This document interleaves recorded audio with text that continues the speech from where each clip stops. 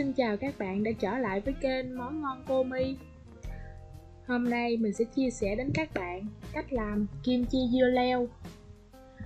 Món này thì mình có thể làm để ăn vào dịp Tết Nguyên đáng sắp tới Hoặc là mình ăn cùng với mì, với thịt luộc, thịt nướng đều rất là ngon. Và để làm được món này thì ở đây mình có 1kg dưa leo. Dưa leo thì mình chọn dưa leo non dưa leo non là những trái nó còn gai gai như này nè các bạn, còn rất là non luôn. Ngoài ra thì mình sẽ chọn dưa leo giống trái to, cho cái ruột nó nhỏ cái phần thịt nó nhiều á, thì khi làm ăn nó giòn ngon được.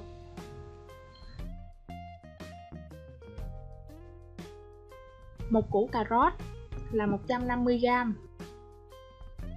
50g hẹ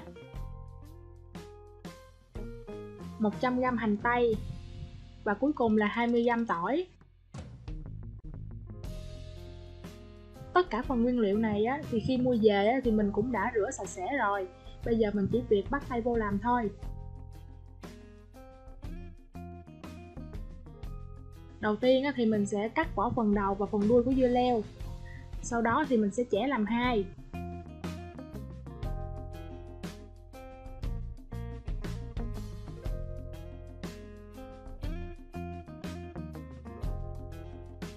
Mình cũng đã cắt xong một ký dưa leo rồi đó.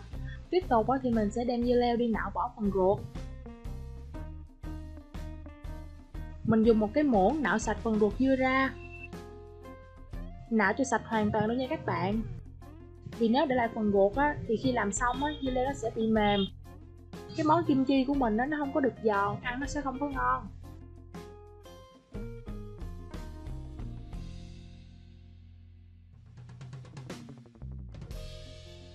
Sau khi nạo bỏ xong phần ruột á, thì mình tiếp tục đi cắt dưa leo. Dưa leo mình cắt thành từng miếng vừa ăn, không quá dày cũng không quá mỏng.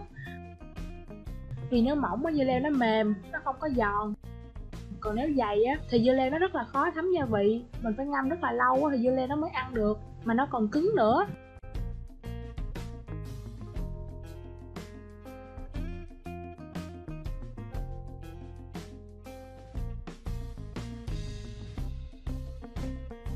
Tục với mình cho dưa leo một cái thao và cho vào một muỗng muối hột. Các bạn cũng có thể sử dụng muối bọt cũng được Nhưng mà mình sử dụng muối hột thì nó ít có mặn hơn là muối bọt. Mình bóp bóp phần dưa lên như vậy nè. Mục đích mình để dưa leo trong muối như vậy á, là để dưa leo nó tiết ra hết cái chất nước. Nếu như không làm như vậy á, thì khi ủ dưa leo nó sẽ ra rất là nhiều nước. Mà nếu như nước ra nhiều á, thì sẽ không bảo quản được lâu và dưa leo nó cũng không có giòn mình sẽ để dưa leo ở đây và ủ dưa leo trong vòng một tiếng nha các bạn. Trong thời gian ủ một tiếng á, thì lĩnh thoảng các bạn cũng lại xóc phần dưa leo lên để cho dưa leo nó được thấm muối nhanh hơn đó.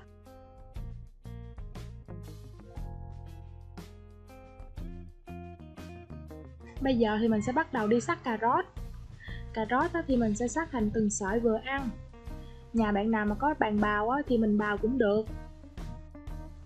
Nhưng mà nếu như các bạn bào cà rốt bằng bàn bào á thì cà rốt nó sẽ nhỏ hơn, mịn hơn. Khi làm kim chi á, thì cà rốt nó sẽ bị nát và nó không có giữ được độ giòn á, ăn nó cũng không có ngon được. Tương tự như dưa leo á, thì cà rốt mình cũng cho vào một muỗng muối hột để ướp cho cà rốt nó ra hết chất nước. Đối với cà rốt á, thì thời gian ướp muối á, nó sẽ nhanh hơn, chỉ khoảng 20 phút là được rồi. Bây giờ mình cũng để cà rốt ở đây ướp muối trong vòng 20 phút. Một lát nữa thì mình sẽ quay lại nhé.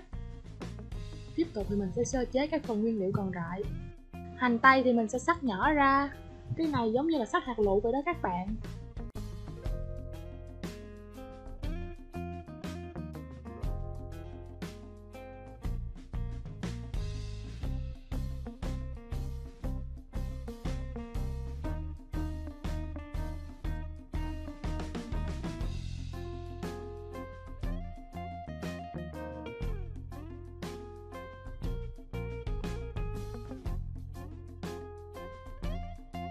Hẹ thì các bạn cắt thành từng khúc từng khúc vừa ăn như thế này là được rồi.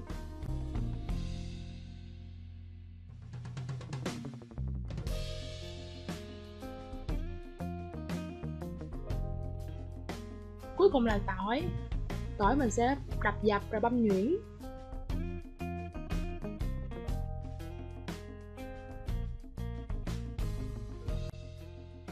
Tỏi, hành tây và hẹ thì mình cũng đã cắt xong rồi bây giờ mình bỏ chung vào một cái dĩa và để vào một bên nhé. Dưa leo thì mình cũng đã ướp trong muối được một tiếng rồi. Dưa leo ra rất là nhiều nước luôn nè các bạn. Như vậy là được rồi đó. Mình sẽ đem dưa leo đi rửa để sạch muối.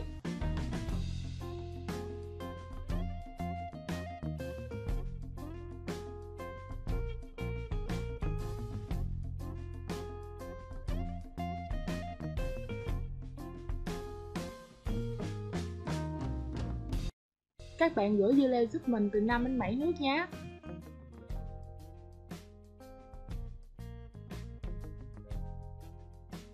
Mình vừa rửa vừa bóp như thế này nè, cho dưa leo nó tiết ra hết cái chất muối để nó không còn mặn nữa.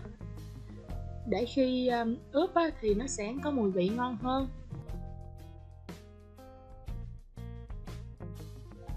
Cà rốt đó sau 20 phút đó, thì nó cũng đã tiết ra rất là nhiều nước như vậy rồi nè mình cũng đem đi rửa tương tự như rửa dưa leo vậy đó các bạn. Mình cũng rửa từ 4 đến 6 nước á cho sạch hoàn toàn. Tiếp theo á, thì mình sẽ sử dụng một cái muối vắt nước cốt dừa để vắt sạch phần nước còn sót lại ở trong dưa leo và cà rốt. Các bạn không có túi nó vắt cốt dừa thì sử dụng cái khăn em bé làm cũng được luôn. Còn không thì các bạn cứ để trong rổ như vậy à, cho dưa leo với cà rốt nó khô từ từ cũng được mình không cần vắt nhưng mà mình vắt như vậy thì nó sẽ nhanh hơn đó. Mình vắt dưa leo và cà rốt thật khô ráo á, để chút nữa khi làm kim chi á dưa leo cà rốt nó sẽ không bị ra nước.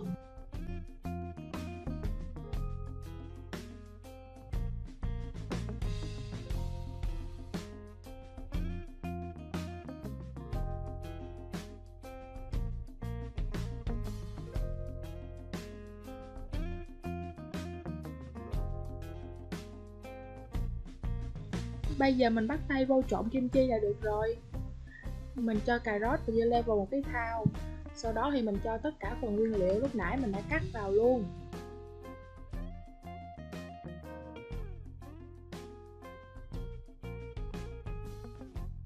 Các bạn cứ cho vào chung hết rồi để qua một bên. Bây giờ mình sẽ đi chuẩn bị cái phần gia vị. Phần gia vị của mình gồm có 3 muỗng canh bột ớt đây là bột ớt Hàn Quốc nha các bạn. Bột ớt này thì nó không có cay nhiều đâu Nó chỉ cay nhẹ thôi. Mà khi cay thì nó cũng không có nóng. Mình có thể mua được ở tất cả các siêu thị hoặc là những tiệm tạp hóa lớn đều có bán. Nếu như không có bột ớt Hàn Quốc này á, thì các bạn sử dụng bột ớt thường cũng được. Nhưng mà bột ớt Hàn Quốc này á, thì nó sẽ cho cái kim chi của mình á, nó lên màu nhìn nó đẹp và hấp dẫn hơn. 3 muỗng canh nước mắm. 2 muỗng canh đường. 2 muỗng canh mè trắng rang. Bây giờ mình sẽ cho tất cả phần gia vị lúc nãy mình đã giới thiệu vào trong đây luôn.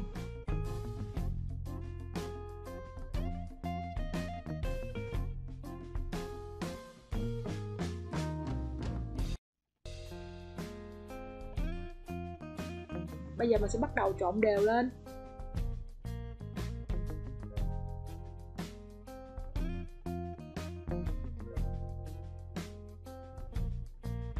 Các bạn nhìn bột ớt của mình nó đỏ vậy thôi, chứ nó không có cay đâu các bạn.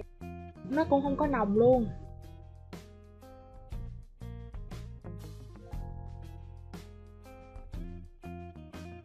Phần kim chi sau khi mình trộn xong rồi á, thì các bạn cũng có thể dùng ngay cũng được. Nhưng mà để cho phần kim chi này nó thấm hơn, nó lên màu đẹp hơn á, thì mình ủ cỡ khoảng thêm 2 tiếng nữa, thì nó sẽ ngon hơn mình chuẩn bị một cái hộp thủy tinh đã lau chùi khô ráo sạch sẽ rồi, để mình ủ kim chi. Bây giờ mình sẽ múc kim chi để cho hết vào hộp.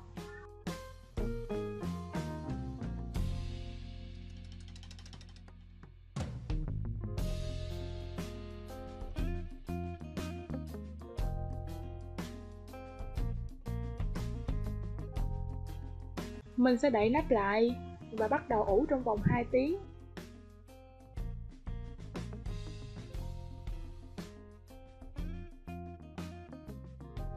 Kim chi bây giờ cũng đã ủ được 2 tiếng rồi đó các bạn. Mình mở ra và chuẩn bị thưởng thức được rồi.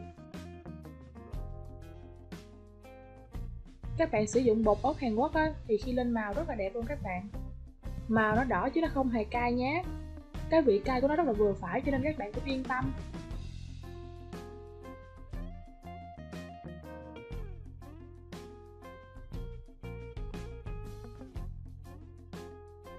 Bây giờ mình sẽ cho kim chi ra ngoài dĩa để chuẩn bị đem lên bàn cơm.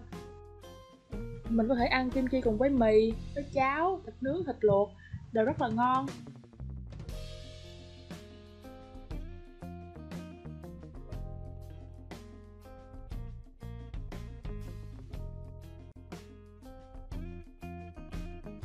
Kim chi và cà rốt á, nó rất là thấm gia vị Nhìn rất là hấp dẫn. Mình mời các bạn ăn thử cùng mình.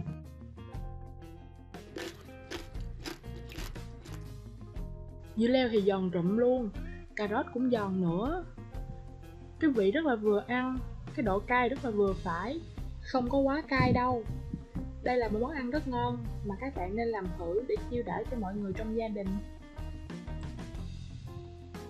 Vậy là cách làm kim chi dưa leo của mình đến đây cũng đã kết thúc rồi. Mình cảm ơn các bạn đã theo dõi hết video của mình nha. Và nếu thấy hay thì các bạn hãy cho mình một lượt like, một lượt đăng ký và ấn vào nút chuông để có thể nhận thông báo về những video sau của mình sớm nhất. Còn bây giờ thì mình xin chào và hẹn gặp lại các bạn ở những video lần sau.